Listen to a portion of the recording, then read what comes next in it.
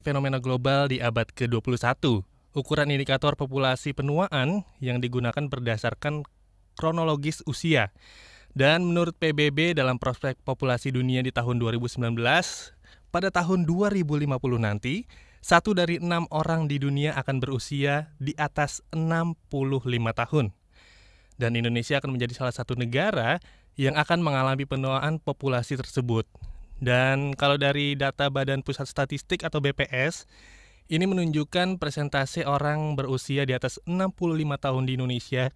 Di Indonesia ini akan meningkat dari 10% atau sekitar 25 juta orang pada tahun 2019 ini menjadi 25% atau bisa dibilang kurang lebih 80 juta orang di tahun 2050.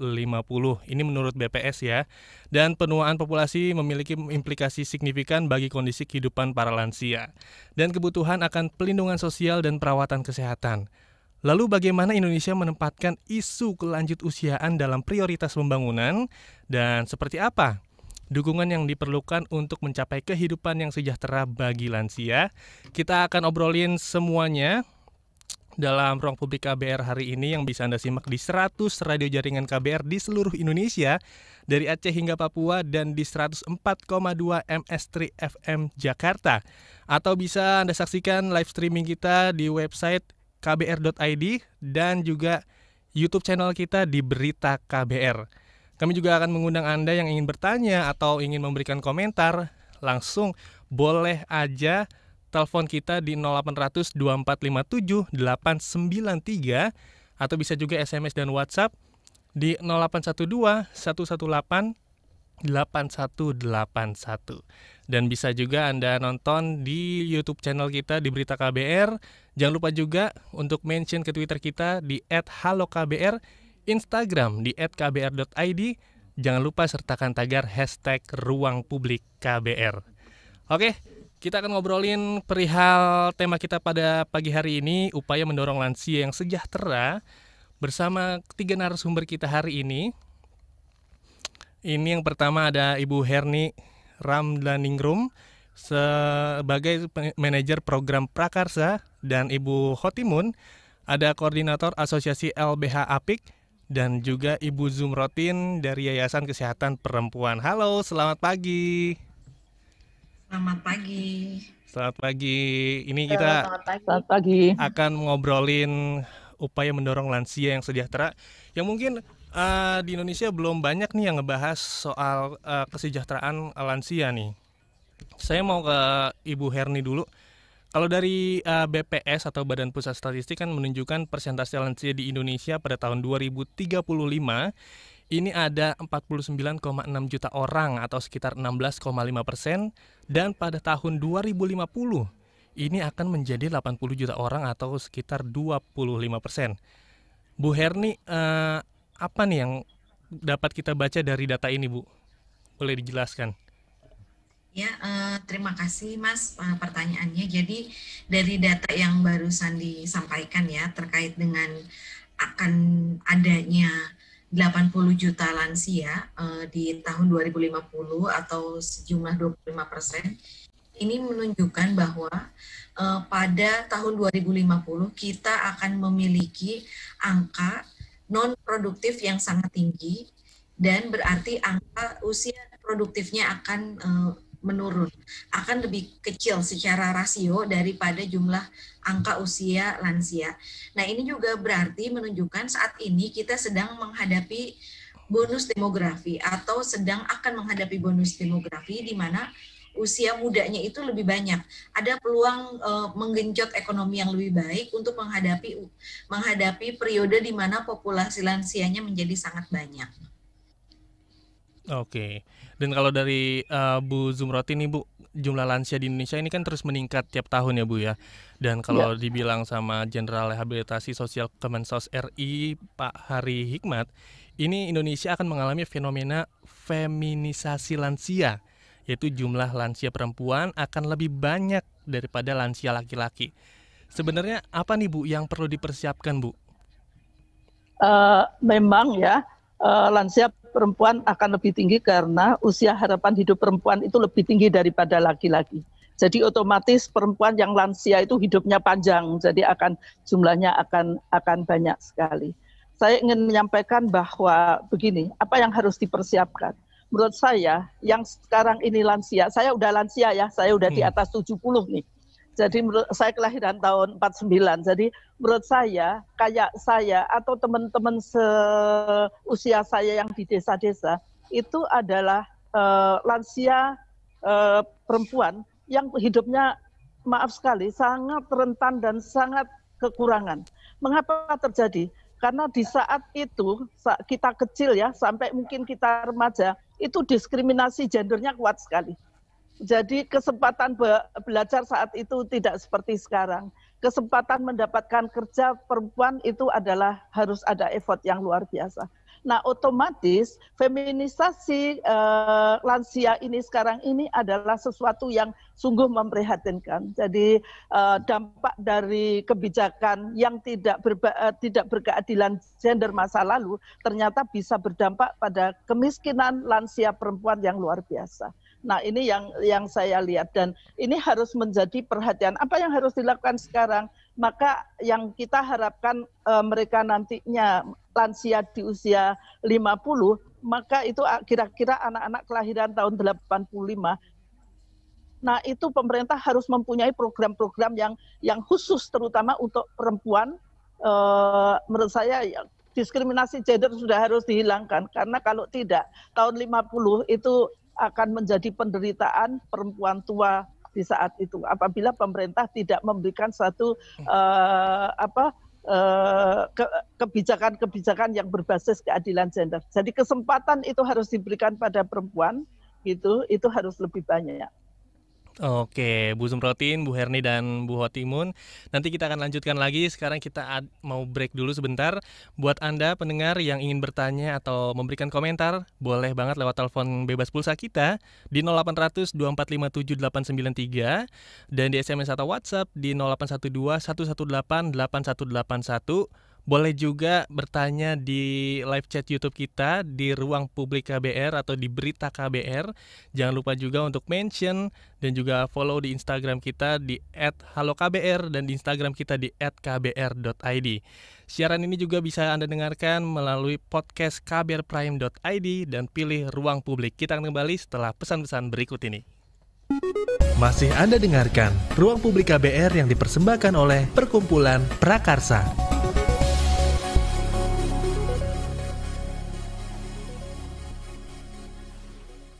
Hai kamu. Iya, kamu. Tahu gak sih, tahun 2050 nanti, satu dari enam orang di dunia akan berusia di atas 65 tahun. Dan Indonesia bakal jadi salah satu negara yang mengalami penuaan populasi itu. Terlebih lagi data dari BPS nunjukin kalau 80% lansia hidup dalam kemiskinan dengan konsumsi per kapita lansia di bawah Rp50.000 per hari.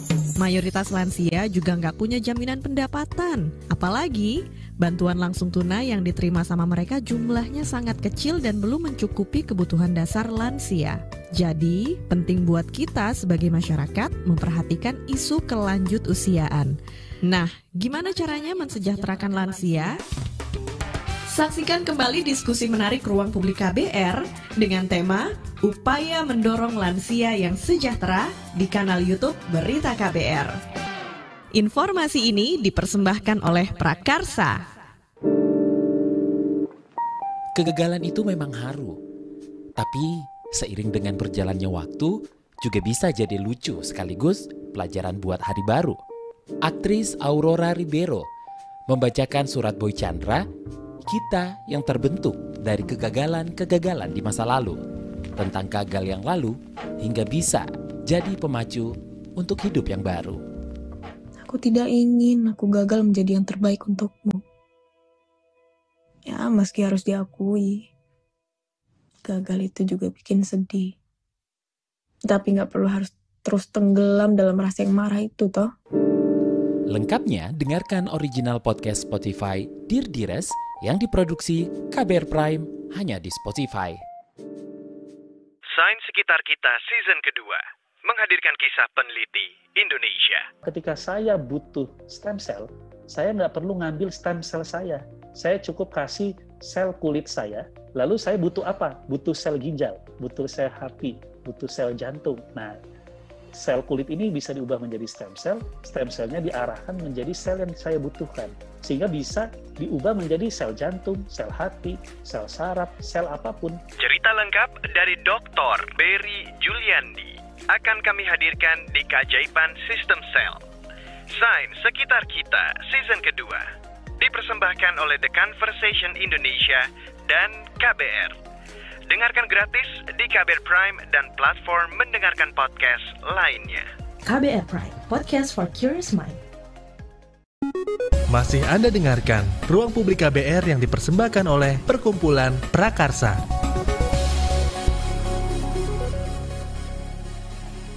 Anda masih mendengarkan Ruang Publik KBR yang dipersembahkan oleh Prakarsa dan masih membahas tema kita pada pagi hari ini upaya mendorong lansia yang sejahtera. Bersama saya Indra Saputra dan Ruang Publik KBR juga bisa Anda simak di 100 radio jaringan KBR di seluruh Indonesia. Dari Aceh hingga Papua dan di 104,2 MS3 FM Jakarta atau di live streaming kita di uh, live streaming kita di website kbr.id dan YouTube channel kita di Berita KBR.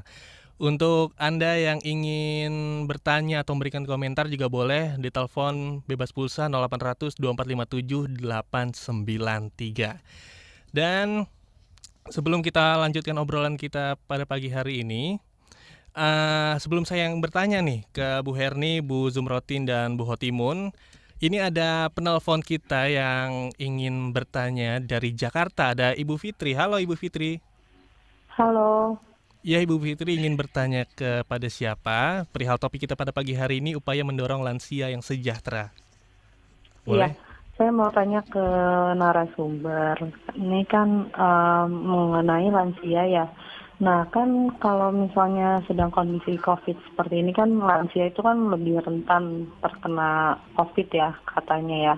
Nah, bagaimana sih upaya dari uh, perkumpulan Prakasa sendiri untuk um, menunjang kesejahteraan dari lansia itu sendiri seperti itu?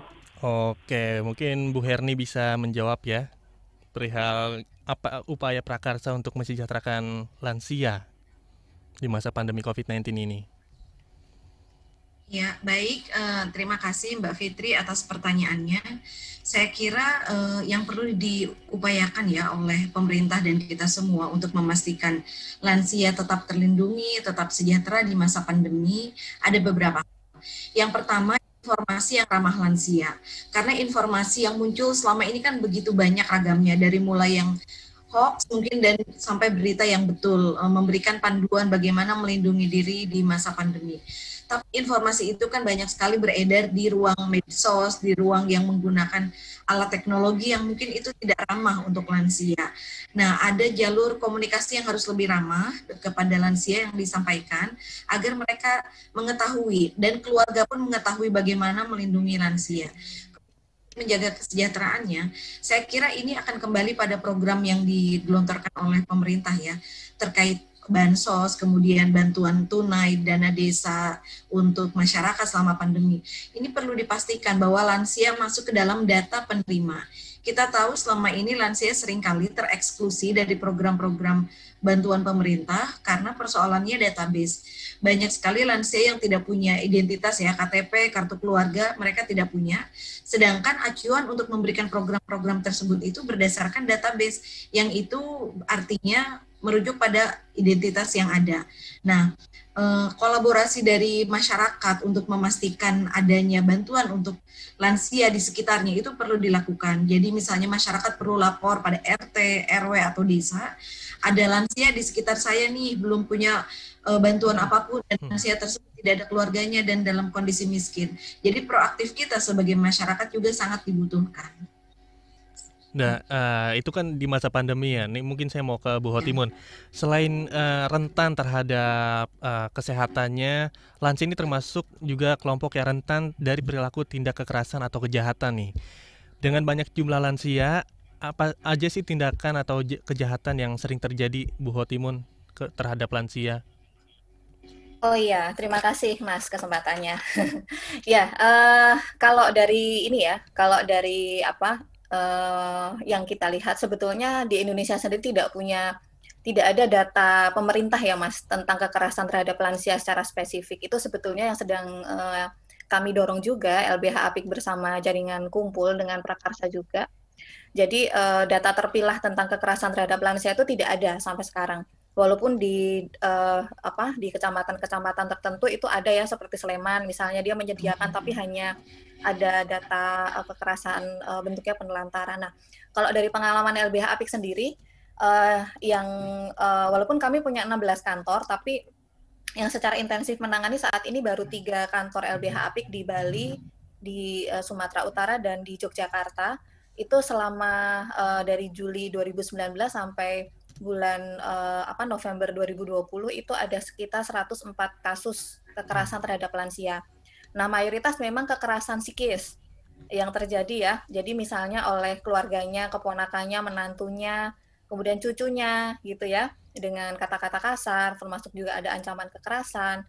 Kemudian juga di sana ada penelantaran. Nah, penelantaran tuh belum tentu dia di, di misalnya di di apa disingkirkan dari rumah tidak, tapi di dalam rumah cuma dia kemudian uh, tidak diberi apa ya uh, kebutuhan pokoknya tidak dipenuhi hmm. begitu ya anaknya misalnya uh, apa tinggal di tempat yang berbeda, tidak pernah menghubungi dan dia tinggal sendiri. Nah, itu termasuk dalam uh, kategori penelantaran. Yang lainnya sih ada kasus-kasus seperti perampasan harta, misalnya uh, harta warisan diambil oleh apa uh, keponakannya. Hmm. Ini ada kasus juga di Bali misalnya uh, beli uh, tidak menikah begitu, hidup dengan keponakan, kemudian hartanya itu harta warisannya diganti nama gitu ya dengan cara-cara yang uh, apa namanya berbagai cara gitulah ya di jadi ambil milik keponakannya di Jogja seperti itu juga di oleh anak angkatnya uh, dijual gitu ya uh, ibunya ditipu gitulah oleh anaknya sendiri dan dijual kemudian si ibunya ini ditaruh di kampung sebelah di rumah kosong uh, kemudian anaknya pergi ke Jakarta membawa semua hartanya hmm. jadi itu termasuk juga kekerasan seksual mas Nah, KDRT uh, diselingkuhi di poligami itu terjadi pada lansia. Nah, seperti disampaikan Bu Zum tadi, perempuan sangat rentan ya uh, mengalami itu karena persoalan uh, ketidaksetaraan gender itu itu sampai ke kehidupan mereka gitu ya termasuk budaya gitu ya itu itu mungkin sih kalau kalau yang kekerasan ya. Hmm. Tapi kalau kita sebagai masyarakat apa nih yang bisa kita lakukan untuk melindungi mereka? Ya, kalau menurut saya uh, masyarakat itu sangat berperan penting ya dalam hal ini. Uh, kita selalu ada dua sektor yang harus dipenuhi, per, apa dua dua kelompok. Pertama kelompok kelompok uh, pertama adalah kebijakan negara yang harus menggerakkan ya sumber dayanya itu tadi uh, perangkat-perangkatnya untuk lebih sensitif terhadap kekerasan terhadap lansia sampai tingkat desa mas kalau perlu. Mm -hmm. Nah masyarakat masyarakat itu uh, apa punya peran yang sangat besar. Mereka bisa membangun uh, apa namanya komunitas-komunitas yang peduli lansia misalnya ya. Kalau LBH Apik sendiri kita punya program untuk mendorong berdirinya self help group ada kelompok lansia berdaya gitu di desa-desa uh, apa yang di apa di, di, didorong oleh para legal kami. Jadi para legal LBH Apik itu tidak hanya menangani kasus tapi juga melakukan pemberdayaan masyarakat. Nah, termasuk pemberdayaan hukum gitu ya. Nah, itu mendorong ada kelompok lansia berdaya, kemudian komunitas lintas generasi. Nah, itu sebetulnya supaya uh, masyarakat itu punya kepedulian. Nah, desa itu sebetulnya punya peran yang signifikan, Mas. Kalau mau kita dorong ya, uh, membangun desa yang ramah lansia, membangun hmm. perlindungan terhadap lansia karena banyak lansia tuh uh, kekerasan terhadap lansia itu banyak disembunyikan, Mas, dan dianggap oleh masyarakat tuh sebagai uh, masalah privat, masalah keluarga gitu loh. Jadi uh, kalau masyarakat mulai kita bangun kesadarannya untuk peduli, kemudian desa punya mekanisme untuk membantu menyelesaikan adat juga seperti itu akan sangat akan sangat bagus karena lansia juga sendiri bingung mau ke mana minta minta tolong gitu ya kalau dia mengalami kekerasan gitu itu sih kalau dari pengalaman kami ya. Oke, masih banyak banget yang pengen saya tanyain sebenarnya, tapi kita harus ya. break lagi nih sebelum kita lanjutkan lagi nanti. Tapi sebelum kita break, ini ada berita yang sedang hangat ya bahwa hari ini Rabu 13 Januari 2021 di Istana Negara akan dilakukan pemberian vaksin COVID-19 perdana di tanah air. Ini penerima pertama vaksin ini adalah Presiden Joko Widodo dan selain presiden ada juga sejumlah menteri termasuk Menteri Kesehatan, juga Ketua Satgas COVID-19 dan Kepala Badan POM. Vaksin yang diberikan adalah vaksin Sinovac, vaksin yang sama yang disuntikan kepada masyarakat umum. Dan besok lus, besok dan juga lusa yaitu tanggal 14 dan 15 Januari 2021 juga akan dilanjutkan ke sejumlah pejabat publik daerah.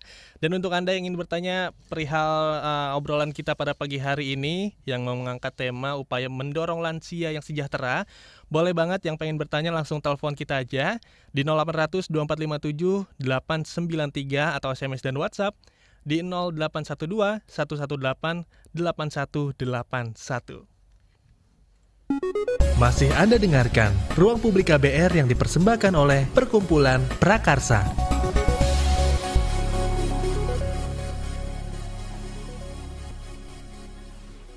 Hai kamu. Iya, kamu. Tahu nggak sih, tahun 2050 nanti, satu dari enam orang di dunia akan berusia di atas 65 tahun. Dan Indonesia bakal jadi salah satu negara yang mengalami penuaan populasi itu. Terlebih lagi data dari BPS nunjukin kalau 80% lansia hidup dalam kemiskinan dengan konsumsi per kapita lansia di bawah Rp50.000 per hari. Mayoritas lansia juga nggak punya jaminan pendapatan. Apalagi bantuan langsung tunai yang diterima sama mereka jumlahnya sangat kecil dan belum mencukupi kebutuhan dasar lansia. Jadi, penting buat kita sebagai masyarakat memperhatikan isu kelanjut usiaan. Nah, gimana caranya mensejahterakan lansia?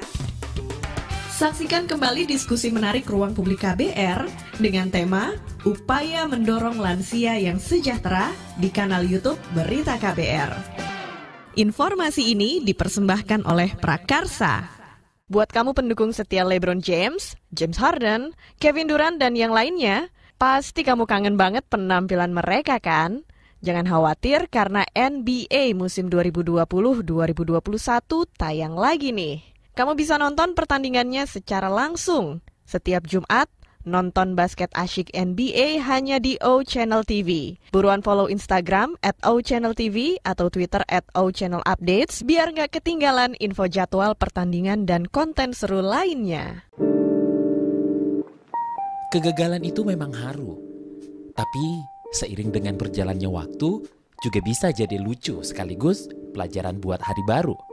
Aktris Aurora Ribeiro membacakan surat Boy Chandra, kita yang terbentuk dari kegagalan-kegagalan di masa lalu, tentang gagal yang lalu hingga bisa jadi pemacu untuk hidup yang baru.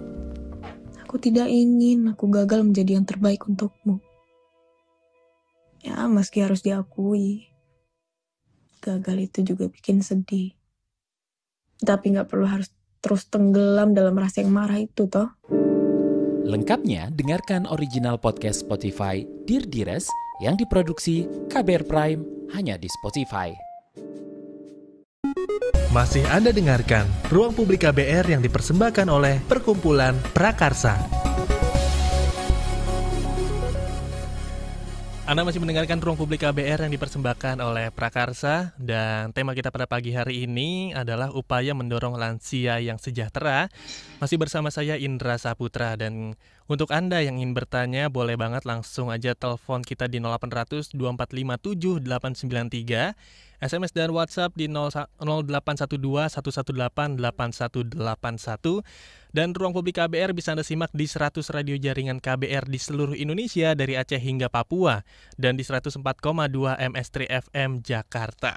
Oke, kita bakal uh, lanjutin obrolan kita lagi bersama ketiga narasumber. Ada Bu Herni dari uh, manajer program Prakarsa, Bu Hotimun, koordinator Asosiasi LBH Apik, dan Ibu Zumrotin dari Yayasan Kesehatan Perempuan.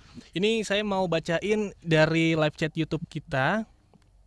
Ada Maulidia Syafitri bagaimana bentuk keseriusan perlindungan terhadap lansia dari pemerintah. Dan juga ada dari Wikan Wirat Songko, apakah ada pendampingan di fasilitas umum, ruang publik, atau dalam mengurus administrasi untuk lansia, semacam sukarelawan ini boleh dijawab Bu Zumrotin atau Bu Herni? Uh, terima kasih, saya akan mencoba menjawabnya. Hmm. Uh, sebetulnya begini, kalau kita ngomong uh, manusia itu punya siklus hidup, bayi, lahir ya, anak, uh, remaja, uh, ibu dan kemudian lansia. Mengapa lansia ini putus tidak mendapatkan perhatian? Kalau kita lihat karena program pemerintah itu loncat. Hmm. Dalam artian bahwa program pemerintah umumnya adalah untuk anak dan ibu. Remaja sangat kurang, lansia hampir tidak ada. Pada siklus hidup untuk sehat itu siklus hidup itu harus harus semuanya di ada programnya. Nah kalau kita lihat remaja memang ada, tapi menurut saya juga masih belum serius. Lebih banyak dikelola oleh kelompok-kelompok masyarakat juga. Yang lebih memprihatinkan justru tidak uh, Eh, program yang berkaitan dengan kesehatan lansia ini masih masih minim sekali di pemerintah. Nah, ini yang harusnya apabila kita tidak menginginkan orang uh, lansia itu menderita fisik maupun psikis, uh, luar biasa loh. Anda ya tidak kerja. Kalau masih muda kerja, kerja ada kegiatan, tua itu tidak bu, bisa uh, ber, ber, bekerja, tidak bisa bersosialisasi terkendala dan secara psikis itu hidupnya menanti sesuatu yang tidak pasti. Itu itu luar biasa. Yang harusnya justru lansia ini mendapatkan perhatian, dampingan psikologis. Karena eh, dengan perubahan zaman sekarang sudah sangat sangat uh, jarang sekali atau sudah jarang sekali eh, anak-anak uh, itu uh, memperhatikan orang tuanya yang lansia ya eh, eh, tidak eh, tidak di perkotaan seperti saya hmm. tapi misalnya di Gunung Kidul semua anaknya bekerja di Jakarta hmm tidak pernah pulang ke rumah, tidak mengirimkan sesuatu. Anda lihat di Gunung Kidul yang pernah ditayangkan di televisi. Dia duduk antar sesama orang tua yang tidak tahu apa yang harus dikerjakan. Menanti anaknya saja tidak pulang-pulang. Jadi ini yang harus menjadikan satu perhatian yang luar biasa menurut saya. Jadi kalau masih muda aja ada aktivitas dan dia ada uh, apa harapan, ada apa? Lansia itu tidak punya harapan Nah ini yang saya ingin menyentuh hati pemerintah supaya ada uh, komprehensif ya. Kalau akan memberikan program pada lansia itu harus komprehensif. Kesehatannya, jaminan sosialnya, psikologisnya. Itu tiga-tiganya hmm. harus harus di, dilakukan. Tapi setidaknya saya juga ingin karena sekarang sepembawa acara ini kan orang generasi muda ya milenial gitu pembawa acara ini saya lihat. Nah milenial itu itu hidupnya adalah pragmatis. Sekarang dapat duit berapa? Oh saya sewa apartemen yang kelas gini. Uh, hmm. Dapat pekerjaan yang lebih tinggi lagi dinaikkan tapi investasi memikirkan hari tua seusia Anda itu kurang menurut saya. Betul sekali. Jadi uh, uh, apa kalau ada sisanya malah dia yang kalau perlu adalah rekreasi, iya. uh, kuliner, ke luar negeri atau apa. Ya, Mas. Betul. dan dan ini adalah bahaya sekali seusia Anda. Anda itu akan menjadi lansia di usia hmm. 50-an dan apabila itu tidak Anda pikirkan dari sekarang, wah saya kasihan sekali kalau hanya menunggu kalau hanya menunggu apa jaminan dari pemerintah itu akan lamban sekali. Atas dasar itu, hai para milenial milenial muda, rencanakan kamu ingin jadi jadi tua itu seperti apa? Pengen sejahterakah? Pengen sehatkah gitu. Nah, itu harus direncanakan dari muda terus terang saya merasa lansia lansia sejahtera saya. Hmm. Tapi itu saya desain dari muda. Hmm. Saya menabung, saya meng, me, apa, mengendalikan diri untuk tidak keluar negeri atau apa karena buat saya tabungan itu adalah untuk hari tua saya dan saya tidak mau menggantungkan pada anak itu. Jadi ini yang harus dipikirkan oleh generasi Anda. Kalau generasi saya sudah terlambat ya. Generasi saya tinggal minta perhatian dari anaknya. Tapi apabila generasi muda yang sekarang ini saya tadi katakan semuanya pragmatis, semuanya adalah instan, cari kerja instan, apa pun instan proses tidak ada dan itu dinikmati begitu saja, tidak pernah memikirkan hari itu hari tua. Nah, itu yang menurut saya bahaya sekali. Atas dasar itulah eh, anda mungkin bisa mensosialisasikan pada pada generasi muda. Mungkin kalau saya ngomong sama generasi muda tidak akan nyambung gitu. Allah ibu itu cuma buah saja. Tapi kalau ada generasi muda yang memahami hal ini dan kemudian disosialisasikan kepada sesama dia, ada awareness dari mereka dan itu akan hmm. direncanakan dengan baik. Itu menurut saya yang uh, saya pengen sekali mengingatkan orang muda merencanakan hari tua. Siap, terima kasih Bu Zun telah menyadarkan kami yang masih muda untuk mempersiapkan hari tua nih. Saya juga baru sadar ternyata emang generasi muda ini harus benar-benar mempersiapkan hari tua ya. Dan mungkin banyak banget uh, sebagian dari uh, pendengar kita yang juga berusia muda yang tersadar juga akhirnya ya. Dan ini uh, sebelum kita lanjutkan ada yang ingin bertanya lewat line telepon kita ada Mbak Joen di Tasik, boleh Iya, selamat menyampaikan pagi. pertanyaannya. Selamat pagi. Saya mau bertanya, apa saja kontribusi atau dukungan dari YKP yang dapat Hmm. dilakukan untuk mencapai kesehatan dan kesejahteraan para lansia? Oke. Terima kasih. Terima kasih Bu Joen. Boleh dijawab dari Eh, Bu ya, Zoom? eh, karena YKP mestinya saya ya. Hmm. Emang YKP belum pun, belum punya program khusus yang berkaitan dengan misalnya bikin shelter atau Hmm. melakukan pendampingan. Tapi YKP itu sekarang yang dilakukan adalah kampanye-kampanye tentang perlunya merencanakan hari tua. Juga YKP sebetulnya banyak juga eh, ada juga yang mem- eh, kita membuat buku untuk orang tua yang ini mungkin agak perkotaan ya. Orang tua ternyata orang tua kelas atas dan berada di kota besar itu pun juga mengalami psikologis yang luar biasa. Sehingga kita mencoba untuk membuat di antara mereka itu ada gathering di antara orang-orang tua. Nah, gathering di antara orang-orang tua itu ternyata dia eh, eh, dia itu menjadi kayak enjoy pada saat ini. Bahkan sekarang sudah mulai ada ya bahwa eh, kalau seorang tua ikut anaknya itu kita kayak punya bayi. Saya bekerja, saya taruh di eh, di tempat gathering orang-orang tua itu, nanti saya pulang saya ambil lagi. Jadi itu mungkin juga me- apa, memberikan eh, suasana berbeda pada eh, pada nenek kita atau orang tua. Dia tidak hanya di rumah suntuk di rumah nunggu kita bekerja, apalagi anak sekarang ya misalnya, oh ya ma nanti saya ajak jalan-jalan deh Sabtu nah, atau Minggu nanti libur. Pas Sabtunya ngomong, mas sorry ya, eh, saya ada lembur. Padahal si ibu itu nunggu satu minggu itu kayak setahun gitu. Jadi hal seperti ini itu juga harus disadari psikologis orang tua ini. Nah itu yang saya kemukakan bahwa sekarang sudah mulai ada kita kita taruh dia ber- kemudian masak bareng temennya atau apa gitu. Ini memang eh, untuk perkotaan ya, tapi mungkin eh, kalau di desa trennya harus berbeda. Di desa saya setuju sama Herni tadi, bagaimana masyarakat, masyarakat sekelilingnya itu dia aware dan kemudian dia eh, menyampaikan pada kadesnya atau atau siapa saja yang mampu eh, yang mempunyai peran untuk meningkatkan kesejahteraan dia. Saya ingin sedikit tentang COVID ini ya, Hmm. yang berkaitan dengan orang tua. Orang tua itu biasanya eh, punya penyakit-penyakit tidak menular ya, kayak diabetes, jantung, eh, tekanan darah tinggi. Itu biasanya pada kena pada orang tua semua. Di saat COVID, karena karena eh, kalau dia datang di puskesmas untuk periksa dan ambil obat, resikonya lebih tinggi daripada penyakit dia, maka dia tidak tidak ke sana. Akhirnya dia mengeluarkan uang sendiri untuk membeli itu. Eh, nah, ini sebetulnya tidak boleh terjadi di saat COVID semacam ini.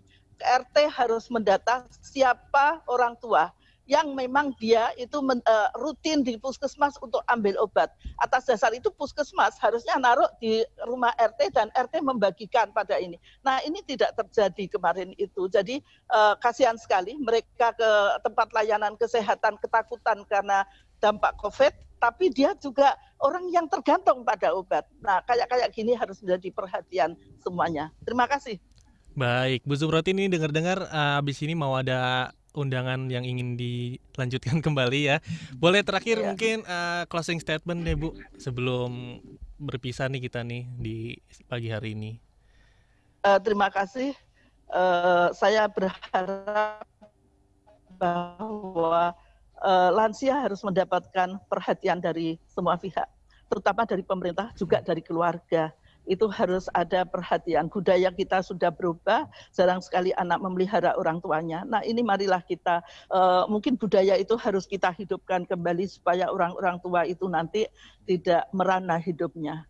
Jadi pemerintah juga demikian. Nah, eh, menurut saya eh, yang lainnya adalah masyarakat sendiri atau eh, lansia sendiri harusnya mendesain dari awal. Dari muda dia mendesain hal ini, dia mempersiapkan dirinya untuk nanti ingin menjadi orang tua kayak apa. Biasanya orang tua setahu saya ya kalau udah orang tua itu kemudian rumahnya dijual, tinggal yang lebih kecil, kayak kayak gitu. Nah kalau kita tidak mau seperti itu supaya kita juga tidak shock secara emosi gitu ya, eh, ada baiknya kita merencanakan dengan baik. Bahkan misalnya ada eh, misalnya dengan asumsi kalau harapan hidup 72 tahun untuk perempuan, maka kita sudah harus mendesain bagaimana kita sampai 70 80 tahun itu hidup kita.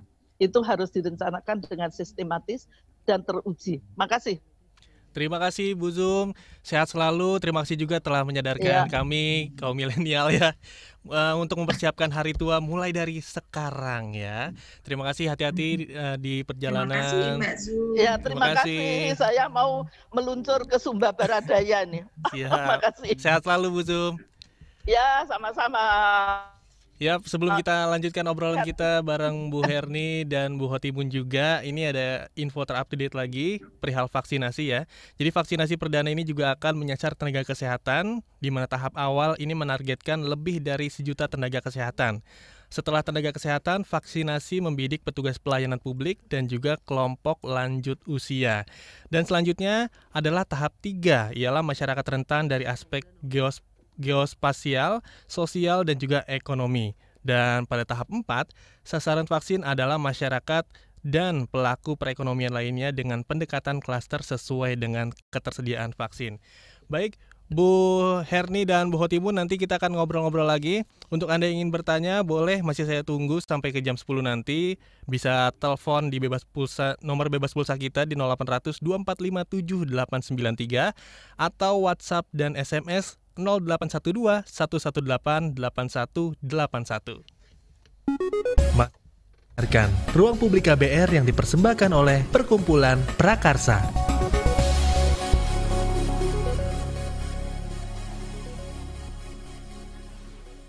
Hai kamu.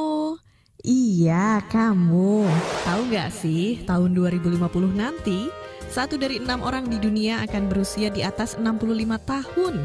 Dan Indonesia bakal jadi salah satu negara yang mengalami penuaan populasi itu. Terlebih lagi data dari BPS nunjukin kalau 80% lansia hidup dalam kemiskinan dengan konsumsi per kapita lansia di bawah Rp50.000 per hari. Mayoritas lansia juga nggak punya jaminan pendapatan. Apalagi bantuan langsung tunai yang diterima sama mereka jumlahnya sangat kecil dan belum mencukupi kebutuhan dasar lansia. Jadi, penting buat kita sebagai masyarakat memperhatikan isu kelanjut usiaan. Nah, gimana caranya mensejahterakan lansia? Saksikan kembali diskusi menarik Ruang Publik KBR dengan tema Upaya Mendorong Lansia yang Sejahtera di kanal YouTube Berita KBR. Informasi ini dipersembahkan oleh Prakarsa Bang, kangkung saya ikat berapaan bang? Eh, nggak jadi deh. Lah, belum dijawab udah ngeloyor aja tuh ibu. Lah, nape lu bang? Beberapa hari ini dagang kok susah bener ya. Pada ogah bener gitu kemari. ya iyalah, abisnya lapak ente nggak aman sih. Yang pertama, aye lihat abang nggak pernah bersihin lapak dan semprot pakai disinfektan. Kedua, abang pakai masker belang belentong. Bentar pakai, bentar kagak. Ketiga, abang juga jarang cuci tangan pakai sabun. Nah, yang keempat nih, lapak abang abang kagak pakai pembatas. Kelima, lapak abang nggak rapi, nggak ada jarak namanya. Yang terakhir nih, abang pan kemarin sakit, tetep aja berdagang kagak boleh tahu. Imun abang yang lagi drop rentan terpapar COVID-19. Kagak ngeri apa lu? Iya, iya. Ingat enam kunci pencegahan supaya pedagang dan pembeli terhindar dari COVID-19. Pesan ini disampaikan oleh Palang Merah Indonesia. Didukung oleh USAID dan IFRC. Kegagalan itu memang haru, tapi seiring dengan berjalannya waktu juga bisa jadi lucu sekaligus pelajaran buat hari baru. Aktris Aurora Ribeiro membacakan surat Boy Chandra, kita yang terbentuk dari kegagalan-kegagalan di masa lalu, tentang gagal yang lalu hingga bisa jadi pemacu untuk hidup yang baru. Aku tidak ingin aku gagal menjadi yang terbaik untukmu. Ya, meski harus diakui, gagal itu juga bikin sedih. Tapi nggak perlu harus terus tenggelam dalam rasa yang marah itu, toh. Lengkapnya, dengarkan original podcast Spotify Dear Dires yang diproduksi KBR Prime hanya di Spotify. Masih Anda dengarkan Ruang Publik KBR yang dipersembahkan oleh Perkumpulan Prakarsa.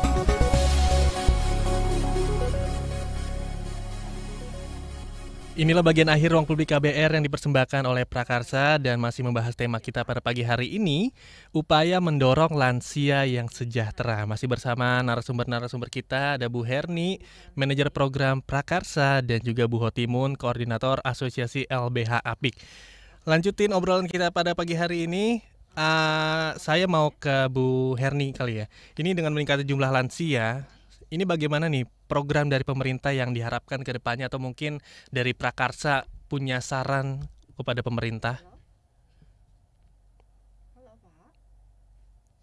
Seperti yang tadi saya sampaikan ya, bahwa program bantuan untuk lansia saat ini masih sampai saat ini masih sangat terbatas ya. Bahkan eh, di awal 2020 yang sejatinya lansia di atas usia 60 tahun, 40% eh, kelompok ekonomi terendahnya itu menerima bantuan. Hmm. Tapi kemudian pemerintah merevisi uh, apa program tersebut dengan memberikannya pada 40% terbawah untuk usia 70 tahun ke atas. Jadi bisa kita bayangkan ada sekian juta lansia yang kemudian tereksklusi dari program bantuan. Padahal rata-rata lansia di Indonesia itu dalam keadaan ekonomi yang lemah dan mereka juga rata-rata hidup dalam uh, keluarga tiga generasi. Kita bayangkan kalau lansia hidup dalam keluarga tiga generasi dengan sumber daya yang terbatas, maka investasi yang ada di rumah itu menjadi terbagi-bagi atau sumber dayanya terbagi-bagi. Apakah lansianya yang akan kemudian berkurang kebutuhannya ataukah misalnya anak yang ada di dalam rumah tersebut akan berkurang misalnya gizinya jadi berkurang karena biayanya atau ke ketersediaan dana dan sumber dayanya harus dibagi terhadap jumlah keluarga yang ada anak cucu kemudian uh, lansia yang ada di rumahnya. Nah dengan situasi seperti ini saya kira sudah tidak bisa di uh, ini ya tidak bisa ditawar lagi kalau lansia perlu mendapatkan bantuan uh, secara universal dari pemerintah. Tidak bisa lagi deh dipilih-pilih lansia miskin atau non miskin hmm. menengah. Karena kenapa? Karena database kita juga semeraut kan. Kita tidak punya database yang valid mengenai mana lansia yang miskin, mana lansia yang membutuhkan bantuan. Nah, daripada situasinya selalu salah sasaran atau kelompok miskin selalu tereksklusi dari bantuan, sebaiknya bantuan kepada lansia diberikan saja secara universal. Jadi tanpa perlu memandang apakah dia mampu atau tidak mampu. Bagi yang nantinya merasa mampu, ya mungkin nanti bisa digunakan untuk hal yang lain, misalnya membantu sesama lansia lain yang tidak mampu. Jadi uh, tidak perlu dipertimbangkan lagi loh lansia kaya rugi dong kalau juga tetap menerima. Saya kira tidak hmm. perlu pikir begitu daripada yang miskin banyak tidak menerima, lebih baik kita mengorbankan sedikit uang untuk juga mendukung yang kaya. Baik, mudah-mudahan bisa terrealisasi di tahun 2021 ini ya Bu ya. Dan ini ada penelpon kita, ada Alvin di Padang yang ingin bertanya, boleh? Halo, selamat pagi. Halo. Halo. Ya, halo, selamat pagi. Halo. Halo, selamat pagi. Iya, boleh. Pagi. Saya mau nanya, saya dari Vin dari Padang. Hmm. Tadi uh, sudah dari pembicaraan Ibu Kotimun mengenai lansia, saya ada pertanyaan nih Pak. Boleh, boleh. Langsung aja ditanyakan. Halo. Hmm? Nah, pertanyaan saya tuh bagaimana menurut Ibu Kotimun kebijakan perlindungan sosial terhadap lansia yang sekarang ini loh Pak? Hmm. Dan bagaimana kebijakan tersebutnya? Oke. Terima kasih Pak Alvin di Padang. Boleh mungkin langsung Bu Hatimun menanggapi pertanyaan dari Pak Alvin di Padang. Baik, Pak Alvin, terima kasih atas pertanyaannya. Uh, tadi sebetulnya dari Mbak Herni sama apa Bu Zoom juga sebetulnya sudah banyak menjelaskan ya. Hmm. Tapi kalau uh, dari saya akan berkaca dari uh, pengalaman LBH Apik sendiri uh, untuk lesson learned ya sebagai pembelajaran. Uh, kalau dari dulu dari tahun 2014 ada tujuh kantor LBH Apik yang juga uh, apa namanya uh, mengadvokasi akses hak dasar kelompok rentan. Salah satunya adalah lansia. Nah, sebetulnya pemerintah itu sudah punya program uh, itu ya, apa namanya kartu lansia misalnya ya di beberapa provinsi sebetulnya. Hmm.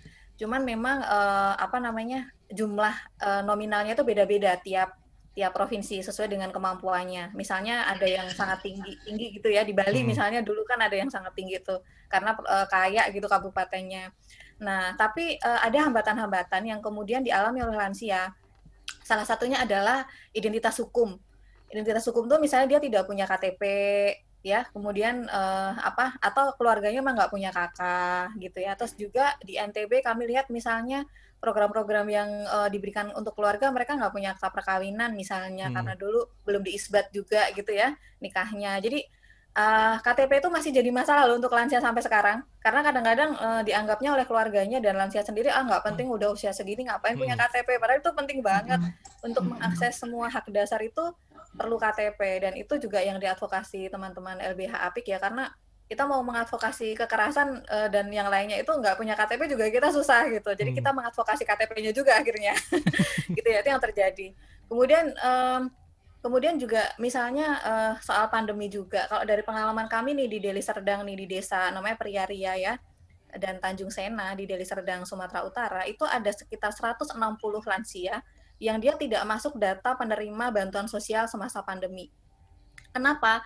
Karena mereka tidak dianggap miskin, tidak masuk kelompok miskin dalam data kemiskinan oleh pemerintah. Seperti tadi yang disampaikan Mbak Erni, itu fakta ya yang yang kami hadapi dihadapi oleh para legal.